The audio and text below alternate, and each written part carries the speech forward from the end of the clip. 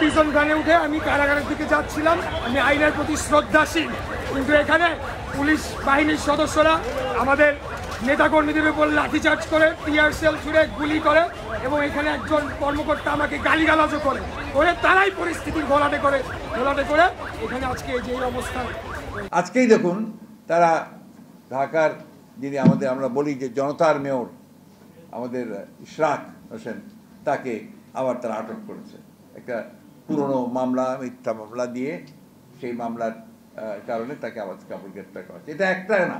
প্রায়ই দেখা যাচ্ছে গত পরশু আপনার আমাদের সাতজন আমাদের কর্মীকে তাদেরকে সাজা দিয়েছে দু বছরের ওপরে। অর্থাৎ তাদের আবারও উদ্দেশ্য যে তারা আবারও একটা সেই চোদ্দ, আঠেরোর মতো নির্বাচন করবে। যে নির্বাচনে বিরোধী দল তো থাকবেই না, বিরোধী দল যেন কোনো অংশগ্রহণ করতে না পারে, তার জন্য ব্যবস্থা গ্রহণ করে তারা এখন করতেই শুরু করেছে। অর্থাৎ তাদের আবার সেই প্রক্রিয়া শুরু করেছে তারা। অর্থাৎ বিরোধী দল এবং গণতন্ত্রের জন্য যারা লড়াই করছে, সংগ্রাম করছে, তাদেরকে আবারও আপনার এই গণ- মাঠ থেকে সরিয়ে দেওয়ার জন্য তারা যেন আপনার এখানে গণতন্ত্র আন্দোলন করতে না পারে, সেই কারণে তারা আজকে তাদেরকে গ্রেফতার করে মিথ্যা মামলা দিয়ে, সাজা দিয়ে আবার তারা কারান্তরীণ করছে। এটা শুধুমাত্র ঢাকাই হচ্ছে তা না, প্রায় সারা দেশেই এই ধরনের মামলাগুলো দিয়ে তারা সাজা দেওয়ার প্রক্রিয়া শুরু করেছে।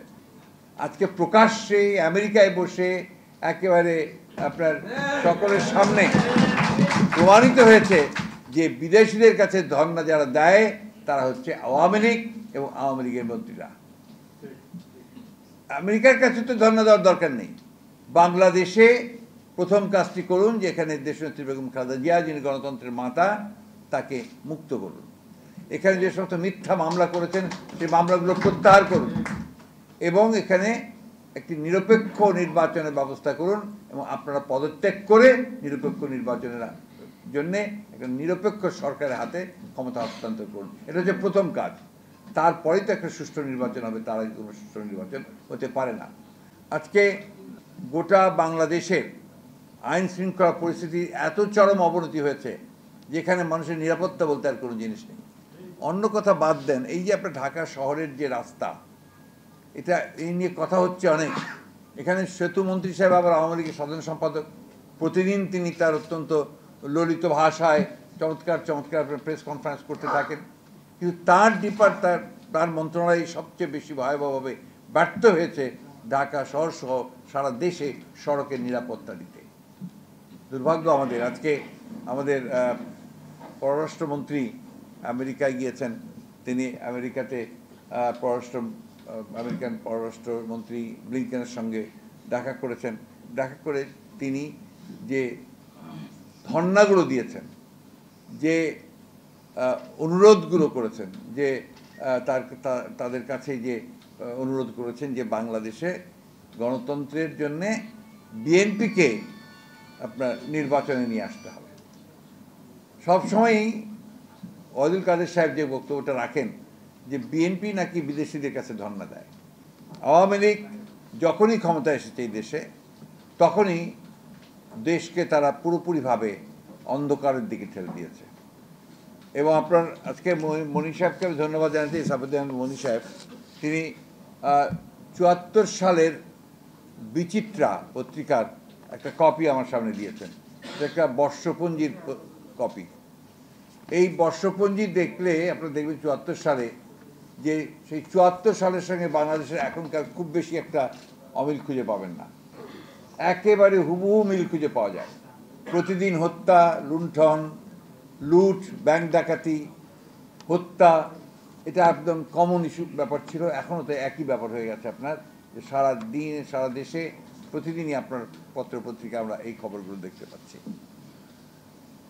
আজকে বাংলাদেশের যে সবচেয়ে বড় সংকট উপস্থিত হয়েছে, সে সংকট হচ্ছে যে আমরা উনিশশো একাত্তর সালে যে যুদ্ধ করেছিলাম, উনিশশো একাত্তর সালে, একটা স্বাধীন বাংলাদেশের জন্য, একটা গণতান্ত্রিক বাংলাদেশের জন্য, একটা মানুষের বৈষম্যহীন একটা বাংলাদেশের জন্য, একটা মুক্ত সমাজের জন্য, সেই বাংলাদেশ আজকে আমরা একেবারেই হারিয়ে ফেলেছি। আওয়ামী লীগ যখনই ক্ষমতা এসেছে, তখনই আওয়ামী লীগ প্রথম যে কাজটা করেছে, সেটি হচ্ছে বাংলাদেশের মানুষের অধিকারটাকে হরণ করে নিয়ে গেছে। আমি এখানে দেখছিলাম আপনার চুয়াত্তর সালে প্রথম যে বিশেষ ক্ষমতা আইন তারা পাশ করে, সেই জিনিস এখানে আছে। আমরা এই জিনিসগুলো দেখবেন যে আওয়ামী লীগ ক্ষমতায় আসার পরে প্রথম যে কাজটা করে সে কাজটা হচ্ছে যে আপনার সংবাদপত্রের যে স্বাধীনতা, সেটাকে তার হরণ করার চেষ্টা করে করে এবং একই সঙ্গে মানুষের মৌলিক অধিকারগুলোকে হরণ করে। আজকে বাংলাদেশ একটা চরম ক্রান্তিকালে এসে উপস্থিত হয়েছে। এই ক্রান্তিকালটা হচ্ছে যে এই দেশে এখন মানুষের তো কোনো অধিকার নেই। এমনকি বেঁচে থাকার যে অধিকার সেটাও এখানে প্রাণ বঞ্চিত হচ্ছে। সব সময় তারা আপনার একটা ড্রাম পেটায়, বলার চেষ্টা করে যে আপনার বাংলাদেশের উন্নতি হচ্ছে। অত্যন্ত বড় বড় প্রজেক্ট দিয়ে মেগা প্রজেক্ট দিয়ে তারা এখানে দেখাতে চায় যে আমরা এখানে অনেক উন্নতি করেছি। আমরা দেখছি যে একদিকে যখন এই কথাগুলো বলা হচ্ছে, অন্যদিকে তখন মানুষ না খেতে পেয়ে মরছে। আমরা দেখছি যে তখন দরিদ্র মানুষ আরও দরিদ্র হচ্ছে। ষাট ভাগের ওপরে মানুষ এখন আপনার দরিদ্র হয়েছে। প্রিয় ভাই বোনেরা, আমি প্রথমেই শ্রদ্ধা জানাতে চাই জাকপার প্রতিষ্ঠাতা সভাপতি জনাব শফির আলম প্রধানের প্রতি। তিনি দীর্ঘকাল এই দেশের রাজনীতিতে তার যে একটা স্বকীয় ভূমিকা, সেটা তিনি সবসময় রক্ষা করেছেন।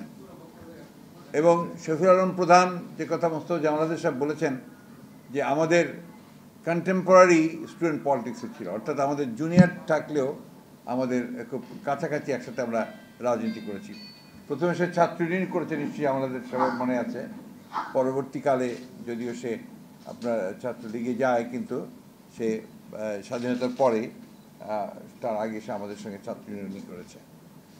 শফির আলম প্রধান স্বাধীনতা সর্বতের প্রশ্নে আপোষহীন ছিলেন এবং আধিপত্যবাদের বিরুদ্ধে তার সংগ্রাম, তার লড়াই, সাম্রাজ্যবাদের বিরুদ্ধে তার সংগ্রাম, তার লড়াই, এটা আমরা সবাই অত্যন্ত ভালোভাবেই তাকে সারা জীবন ধরে দেখে এসেছি। বাংলাদেশের সৃষ্টির পরে যে কয়েকজন রাজনীতিবিদ তারা বাংলাদেশের স্বাধীনতা সার্বভৌমত্ব এবং গণতান্ত্রিক ব্যবস্থার জন্য আজীবন সংগ্রাম করে গেছেন তাদের মধ্যে শফির আলম প্রধান অন্যতম। আজকে যে অবস্থা, এই অবস্থায় শফির আলম প্রধানের খুব প্রয়োজন ছিল। তাকে আমরা অত্যন্ত, তার অনুপস্থিতি আমরা উপলব্ধি করি এবং আজকে যে সংগ্রাম গণতন্ত্রের জন্যে, বাংলাদেশ স্বাধীনতা সমিতি রক্ষার জন্য সেই সংগ্রামে তার আহ, খুব প্রয়োজন ছিল বলে আমরা সবাই মনে করি।